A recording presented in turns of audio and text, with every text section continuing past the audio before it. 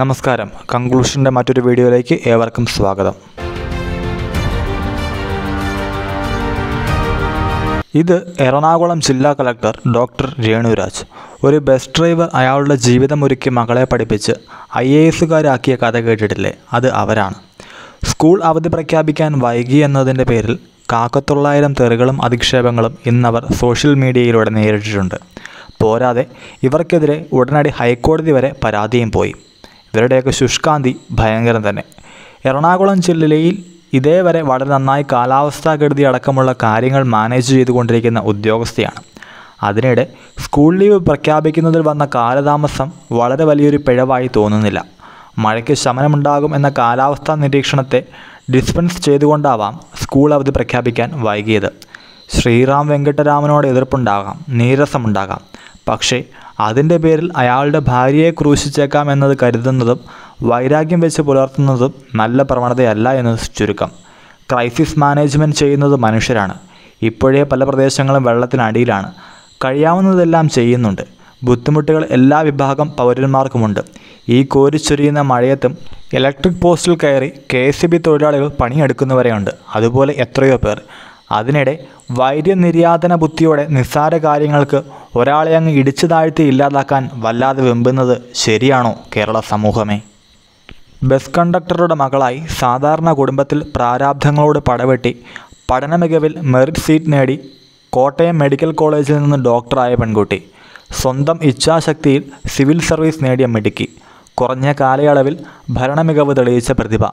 ദാമ്പത്യ ജീവിതം തിരഞ്ഞെടുക്കുന്നത് വ്യക്തിയുടെ സ്വാതന്ത്ര്യമാണ്. ഭർത്താവിൽ ആരോപിക്കുന്ന കുറ്റത്തിന് ഭർത്താവ് ശിക്ഷിക്കപ്പെടട്ടെ. ആ നിലയ്ക്കും പാപത്തിൽ പങ്കാളിയല്ലാത്ത ഒരു സ്ത്രീ അധിക്ഷേപിക്കപ്പെടുന്നത് അന്യായമാണ്. ഒട്ടും യോജിക്കുന്നില്ല. മാധ്യമങ്ങൾ കൊടുത്ത വാർത്തയും താഴെ വരുന്ന കമന്റുകളും അപകീർത്തികരമാണ്.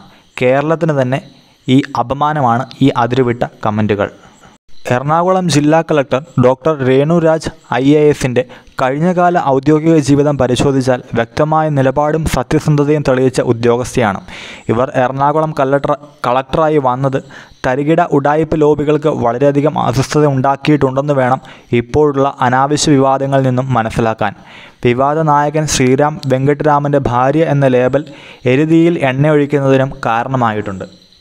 രേണുരാജ് എന്ന എറണാകുളം കളക്ടറെ വ്യക്തിഹത്യ ചെയ്യുന്നതിന്റെ പിന്നിലെ അജണ്ടയും ശ്രീറാം വെങ്കട്ടരാമന്റെ സ്ഥലമാറ്റം പോലെ തന്നെയല്ലേ? അവരുടെ സ്വകാര്യ ജീവിതത്തെ പോലും അവഹേളിച്ച് രസിക്കുന്നവർക്ക് ശരിക്കും പ്രത്യേക ഭ്രാന്തല്ലേ? കളക്ടറുടെ ഓഫീസിൽ ലഭിക്കുന്ന വിവരം അനുസരിച്ച് ഫേസ്ബുക്ക് പേജിൽ പോസ്റ്റ് ഇടുന്നത് നേരിട്ട് കളക്ടറാണോ? ഇതുപോലെ കഴിഞ്ഞ മഴക്കാലത്ത് തിരുവനന്തപുരം കളക്ടറുടെ പോസ്റ്റ് ഉണ്ടായിരുന്നു. വൈകി വരുന്ന അറിയിപ്പിനെ അപലപിക്കാം ചോദ്യം ചെയ്യാം. പക്ഷേ അതിരു കടന്നുള്ള വ്യക്തിഹത്യ ശരിയാണോ എന്ന് നമ്മൾ ചിന്തിക്കേണ്ട സമയം അതിക്രമിച്ചിരിക്കുന്നു. തൊണ്ണൂറ്റി ഒമ്പത് ശരികൾക്കിടയിലും ഒരു തെറ്റിനെ മുഴിപ്പിച്ച് കാണിക്കുന്നവർ ഒന്നോർക്കണം നമ്മളൊക്കെ എല്ലാം തികഞ്ഞവരാണോ എന്ന്. ഇത് ശ്രീരാം വെങ്കട്ടരാമനോടുള്ള വൈരാഗ്യത്തിന്റെ പ്രതിഫലനമാണ് എന്നത് പകൽ പോലെ വ്യക്തം. ശ്രീരാമന്റെ തെറ്റുകൾ കോടതി നിശ്ചയിക്കട്ടെ. അതിന് അയാളുടെ ഭാര്യ എന്തു ചെയ്തു? ഭർത്താവിൽ ആരോപിക്കുന്ന കുറ്റത്തിന് ഭർത്താവ് ശിക്ഷിക്കപ്പെടട്ടെ. ഒരു നിലയ്ക്കും പാപത്തിൽ പങ്കാളിയല്ലാത്ത ഒരു സ്ത്രീ ആക്ഷേപിക്കപ്പെടുന്നത് അന്യായമാണ്. ഒട്ടും യോജിക്കുന്നില്ല. മാധ്യമങ്ങൾ കൊടുത്ത വാർത്തയും താഴെ വരുന്ന കമന്റുകളും അപകീർത്തികരമാണ്.